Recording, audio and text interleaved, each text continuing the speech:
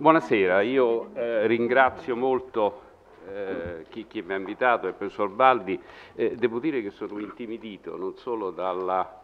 eh, dell'ambiente ma anche dell'uditorio. Io mi sento in qualche misura estraneo. Io insegno diritto e mi sono occupato di banche, quindi oggi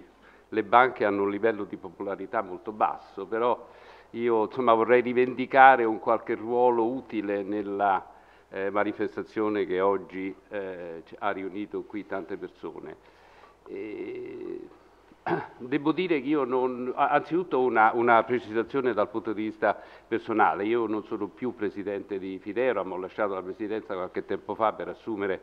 un altro incarico, però la storia che è alla base della, di, della manifestazione di oggi nasce quando io avevo quel titolo all'interno della banca e devo dire che io conoscevo poco dell'Accademia di San Luca, anzi quasi nulla, è stata eh, Fabiola Iatta che poi mi ha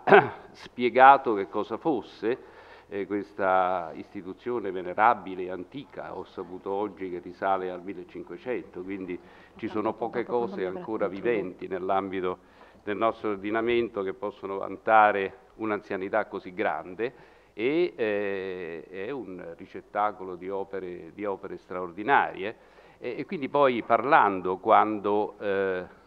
si manifestò una possibilità di restauro di un'altra opera, della, il Mastelletta, eh, Fabiola mi insomma, chiese se fosse stato possibile un contributo eh, da parte della banca. Eh, fu possibile, il contributo venne dato, l'opera fu restaurata e fu una cosa eh, che inorgoglì tutti, anche la banca che era stato tramite assolutamente inerte di questa, di questa attività. Eh, l'opera del Mastelletta restaurato venne inclusa nella copia pubblica del bilancio, che è un fascicolo piuttosto complesso che contiene cose diverse, ma c'era anche questa, eh, la foto dell'opera. poi l'opportunità si ripropose per questa eh, il lavoro che oggi eh, siamo eh, chiamati, io l'ho visto di sfuggita, ma eh, ho letto anche il diario del restauro che Fabiola mi ha dato e devo dire eh, che, che, che, mi ha entusiasmato un po' perché sono intrigato da questi processi tecnici eh, personalmente, ma anche perché attraverso, come diceva il professor Baldi, la, eh, la, storia delle opere si legge anche la storia della società che le ha prodotte, un fatto eh, effettivamente straordinario. E questo credo sia uno eh, una delle ragioni per le quali le opere d'arte vanno conservate, non solo perché sono cose belle da vedere, ma perché sono anche il veicolo appunto della storia delle società che le, che le ha prodotte. Eh, Fideuram ha fatto tante cose nel settore genericamente della utilità pubblica. Io credo che le istituzioni eh, come Fideora, ma tante altre che sono in grado di farlo, abbiano veramente il dovere sociale di sostenere queste cose e eh, la conservazione delle opere d'arte, io lo dico in modo davvero sommesso perché non ho titolo alcuno per parlare di queste cose, eh, meritano di essere conservate. Oggi abbiamo, uh, viviamo in un momento di forte secolarizzazione della conoscenza e dei costumi, eh, i nostri ragazzi purtroppo sanno poco di arte, sono attratti prevalentemente da cose di più immediata utilità e piacevolezza,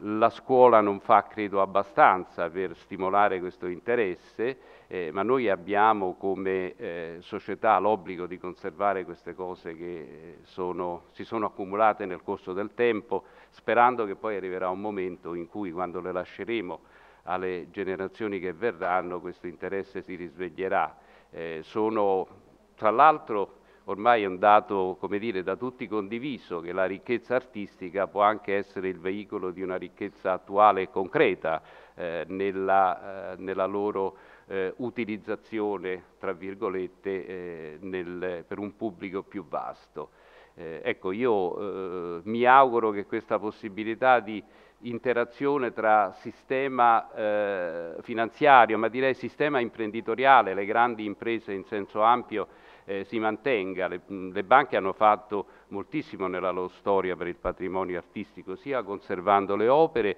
che promuovendo le ricerche per loro, il loro studio, la loro valorizzazione. è un eh, connubio che oggi trova qualche difficoltà in più nel mantenersi per effetto della situazione generale insomma, che, tutti, che, tutti, conosciamo, ma è, è, è, un legame che comunque va conservato. Eh, io mi auguro che questo possa proseguire e con eh, così una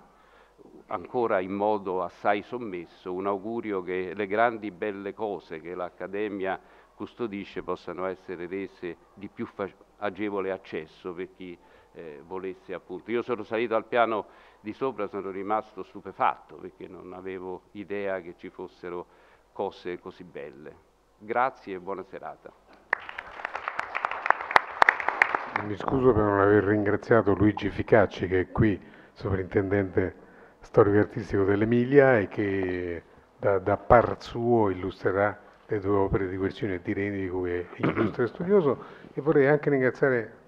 Angela Cipriani che non vedo ma credo che ci sia per aver fatto la direzione dei lavori di questo restauro. E cos'è infatti no, la ringrazio comunque per aver fatto la direzione dei lavori compito importante anche se non visibilissimo. Grazie. La parola uh, Fabiola Iatta che ci parlerà dell'affresco strappato di Guercino, mentre Laura Cibrario ci parlerà poi della tela di Guido Reni.